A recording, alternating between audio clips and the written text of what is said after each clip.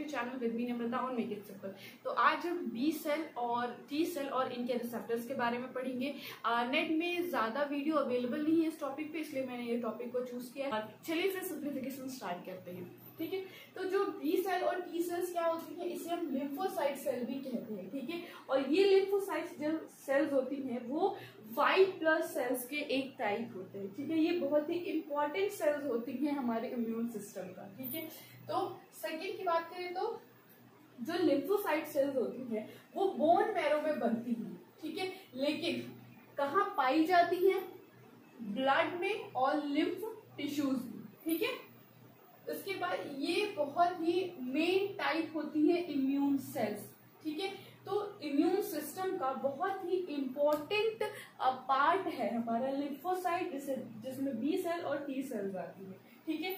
और जो immune system है आ, वो बहुत ही कॉम्प्लेक्स नेटवर्क से बना हुआ है। कोई एक चीज़ कोई एक पर्टिकुलर चीज़ इम्यून सिस्टम को नहीं बनाती है। सिस्टम बहुत सारी छोटी छोटी चीज़ों से आपस में मिल के बनता है ठीक है? तो ऐसे जो इम्यून सेल्स जो होती हैं जो लिम्फोसाइट सेल्स होती हैं ये सभी आपस में मिलकर एक कॉम्प्लेक्स नेटवर्क बनाते हैं जिससे कि इम्यून सिस्टम बिल्ड होता है आ, एक पैथोजन या फिर एंटीजन के अगेंस्ट ये कोई एंटीजन ठीक है?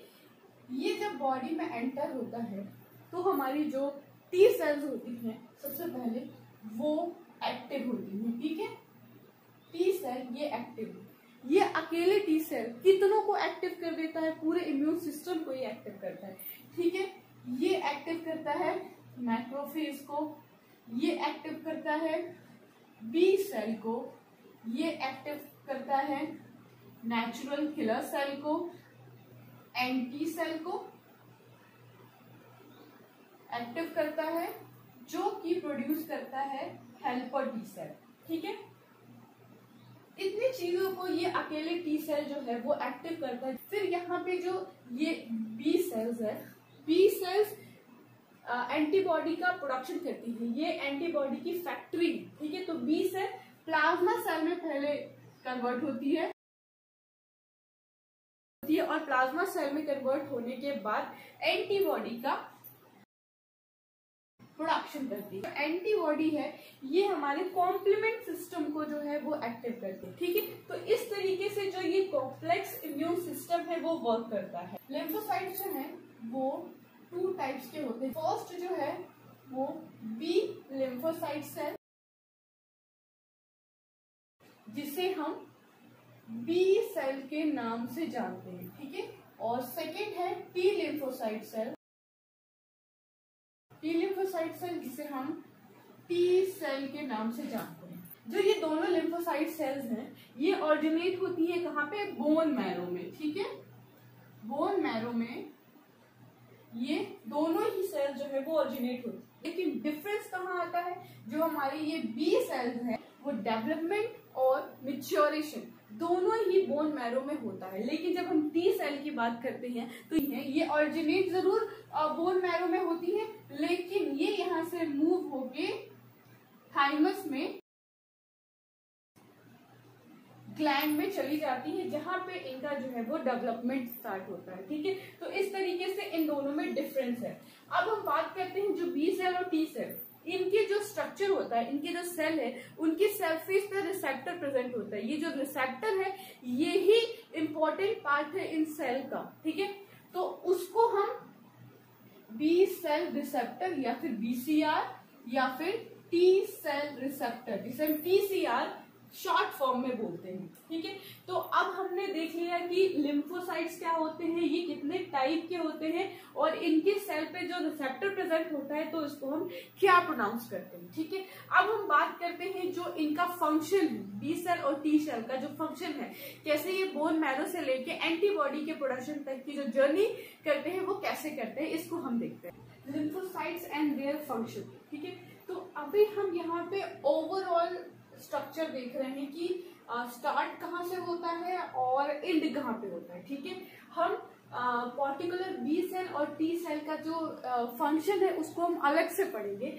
यहाँ पे अभी हम इसकी जर्नी को देख रहे हैं कि कैसे बोन मैरो से लेके एंटीबॉडी के प्रोडक्शन तक इनकी जर्नी कैसी होती है लिम्फोसाइट सेल्स की, ठीक है? इसके बाद हम अलग से सेपरेट बी सेल और टी सेल्स को पढ़ेंगे, ठीक है? इनकी डिटेल्स को पढ़ेंगे। तो यहाँ पे हम जैसे कि डायग्राम में देख रहे हैं आ, ये बोन मैरो है ठीक है?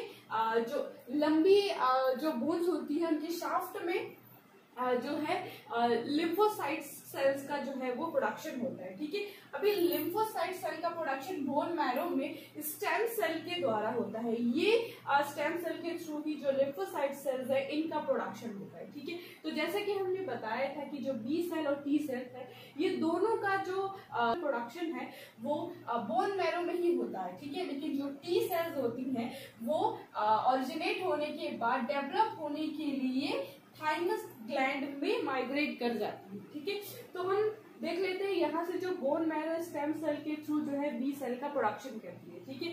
अब जो ये बी सेल्स है, ये अनदर टू टाइप की सेल में डिफ्रेंशिएट होती हैं। जब इनका इंटरेक्शन किसी एंटीजन से होता है तो ठीक है? और इनके जो बी सेल है, इनके सरफेस पे ढेर सारे रिसेप्टर प्रेजेंट होते हैं।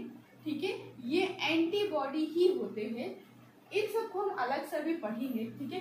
तो जैसे कि हमने बताया कि जो बी सेल है, वो अनदर टू टाइप के सेल में डिफ्रेंशिएट होती है। पहला जो है मेमोरी सेल और दूसरा है प्लाज्मा सेल मेमोरी सेल जो कि एंटीबॉडी को बनने के बाद उसको स्टोर करके रखती है फ्यूचर में इस्तेमाल होने के लिए। ठीक है? इसलिए इसको हम मेमोरी सेल कहते हैं ठीक है? प्लाज्मा सेल प्लाज्मा सेल क्या होती है? एक मतलब आ, मैं इसको जर्नल आइडिया में आपको बता रही हूँ। जैसे कि आपने बी सेल का स्ट्रक्चर देखा इसके सरफेस पे एंटीबॉडीज है ठीक है? तो अभी प्लाज्मा सेल क्या करती है? इस एंटीबॉडी को रिमूव करके जो सेल बचता है वो अपनी प्लाज्मा सेल है और जो ये एंटीबॉडी रिलीज़ कर देती है ये है हमारा एंटीबॉडी ठीक है? तो यहाँ पे मेमोरी सेल और प्लाज्मा सेल तो प्लाज्मा सेल जो है वो एंटीबॉडी को जो रिलीज़ करती है तो वहाँ से एंटीबॉडी का प्रोडक्शन होता है और जो कि पर्टिकुलर एंटीजन के साथ इंटरेक्ट करता है। ठीक है? जो बी सेल और टी सेल्स होती हैं, बिल्कुल स्पेसिफिक होती हैं। स्पेसिफिक एंटीजन के लिए स्पेसिफिक सेल्स होती हैं ये सब ठीक है? अब हम बात करते हैं सेल की। तो जो माइग्रेट हुई है थाइमस ग्लैंड ठीक है? अभी ये जो थाइमस ग्लैंड है आ, टी सेल का प्रोडक्शन करती है ठीक है? अभी टी सेल के प्रोडक्शन होने के लिए इसको सिग्नल मिलने के लिए सबसे पहले ज़रूरी है कि कुछ एंटीजन का प्रवेश हो, ठीक है? जैसे ही कोई एंटीजन या पैथोजन जैसे ही एंटर करते हैं तो इनको सिग्नल मिलता है सेल में मैक्रोफेज होता है, ठीक है?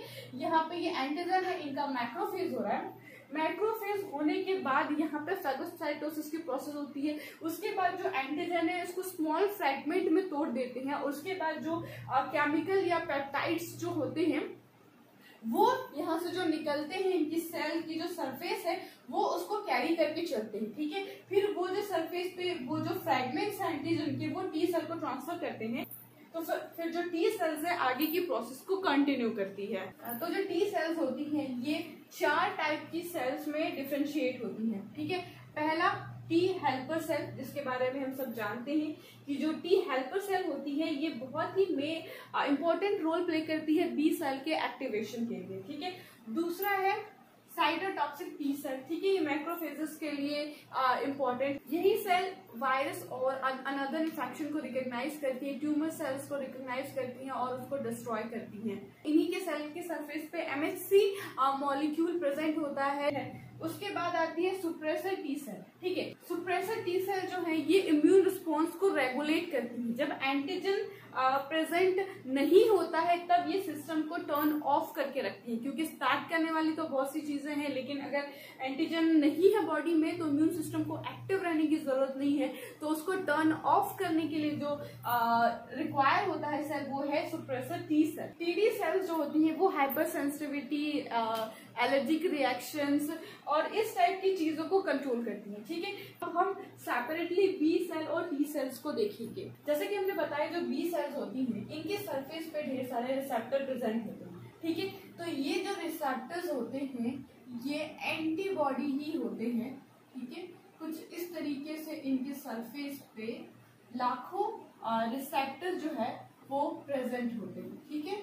इनका काम है एंटीजेंस को रिकॉग्नाइज करके उनको डिस्ट्रॉय करना, ठीक है? तो कुछ इस तरीके से जो बी सेल्स है, वो देखता है, ठीक है? इसके प्रॉपर्टीज़ देख लेते हैं, क्या होता है? फ़र्स्ट है रिकॉग्नाइज प्लस एंटीजन इसका क्या मतलब है? कि जो बी सेल्स होती हैं सबसे पहले वो एंटीजन को पहचानती हैं कि ये आ, कोई टॉक्सिक मटेरियल है या नहीं ठीक है? तो वो आ, जो बी सेल्स है वो स्पेसिफिक एंटीजन के लिए स्पेसिफिक होती है ठीक है? तो उसके साथ ये बाइंड होती है। ठीक है? तो इनका काम क्या होता है? एंटीजन को रिकोगनाइज करना, फिर उनके साथ अटैच होना। जो हेल्पर टी सेल्स हैं, वो क्या करती हैं कि जो एंटीजन हैं जो बी सेल के सरफेस पे जो एंटीजन आती हैं, उनके साथ आके बाइंड करती हैं, उनको पहचानती हैं और साथ ही बी सेल्स को ये प्रेरित करती हैं कि वो डिवाइड हो, ठीक है? प्लाज्मा सेल में और एंटीबॉडी में। वो टी हेल्पर सेल के द्वारा ही पॉसिबल हो पाता है। इसके बाद जो अपना थर्ड पॉइंट है कि जो मेच्योर बी सेल्स होती हैं, उनमें लाखों रिसेप्टर प्रेजेंट होते हैं। ठीक है? बी सेल्स होती हैं वो बैक्टीरिया वायरस और अदर बैक्टीरियल जो प्रोडक्ट होते हैं, जो कि टॉक्सिन्स हो सकते हैं, उनको रिकॉग्नाइज करके उनसे डिफेंड करने का काम करती हैं बी सेल ठीक है? तो जो बी सेल्स हैं, मान लीजिए कि यहाँ पे कोई एंटीजन है, ठीक है? जिसके ये रिसेप्टर ने जो है, वो रिकॉग्नाइज किया इस एंटीजन को, ठीक है? शार्ट में मैं एजी लिख रही हूँ। तो अब क्या करेगा कि ये जो सेल का जो रिसेप्टर है, वो इंडोसाइटोसिस के द्वारा इस एंटीजन को जो है, वो इनगल्फ कर लेगा और इनगल्फ करने के बाद इनका जो है, वो डाइजेशन हो जाएगा छोटे छोटे स्मॉल फ्रैगमेंट्स में। ठीक है? अब इस फ्रैगमेंट्स को क्या करेगा जो इसको जो है, वो सेल से बाहर की तरफ़ निकाला जाएगा। तो बाहर निकालने के लिए भी क्या एम एच सी जो टू मॉलिक्यूल्स है, वो यहाँ पे हेल्प करते हैं। अब जो ये सिचुएशन है, इसके लिए स्पेसिफिक हेल्पर टी सेल्स है, ठीक है? जो आके इस बी सेल्स के साथ बाइंड होगा, किसके द्वारा? रिसेप्टर के द्वारा, ठीक है? ये हमारा रिसेप्टर है जो एक दूसरे के साथ बाइंड हो रहा है, ठीक है? और ये हमारा वो एंटीजन सब्सटेंस जो कि पेप्टाइड्स होते हैं वो यहाँ पे दोनों रिसेप्टर के द्वारा बाइंड हो चुके हैं, ठीक है? तो अब इनके बाइंड होने के बाद क्या होता है कि जो टी सेल्स है लिम्फोकाइंस को सिक्रीट करता है। ये लिम्फोकाइंस क्या करते हैं? ये बी सेल को प्रेरित करते हैं ताकि स्टिमुलेट करते हैं, ताकि जो बी सेल्स है, वो डिफ्रेंशिएट हो अपने प्लाज्मा सेल्स में और एंटीबॉडीज में, ठीक है? यहाँ पे एक चीज़ और होती है जो हेल्पर टी सेल का सी डी फोर चेंज होती हैं, वो यहाँ पे होती हैं। और ये चेक करती हैं कि हमारा जो ये कॉम्प्लेक्स बना है, वो सही तरीके से प्रॉपरली बना है या नहीं। ठीक है?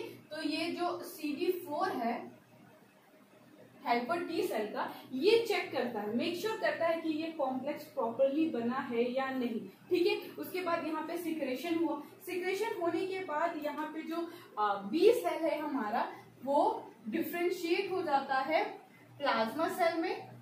ठीक है? ये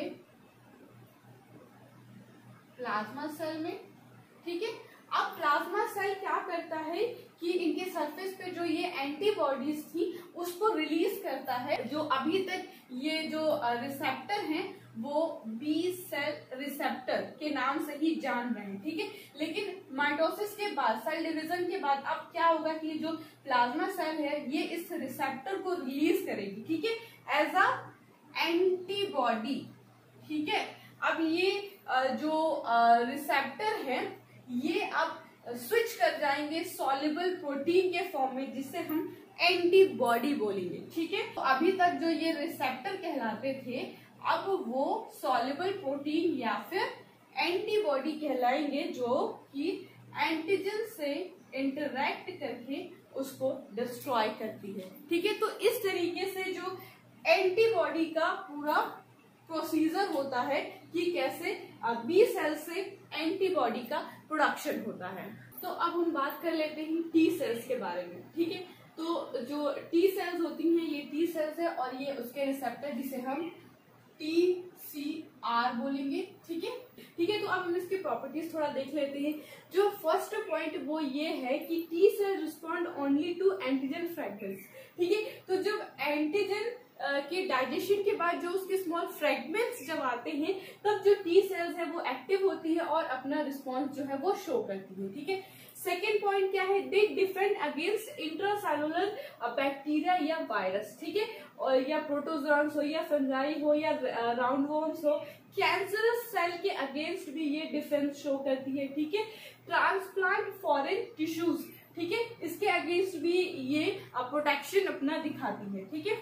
थर्ड है एंटीजन प्रेजेंटिंग सेल जब आ, जो एंटीजन होते हैं उसको डाइजेस्ट करके और उसके सेल के सरफेस पे जो एमएचसी मॉलिक्यूल होता है उसको कैरी करता है तब जो टी सेल का जो रिसेप्टर है उस को रिकॉग्नाइज करके उसके साथ बाइंड होता है ठीक है?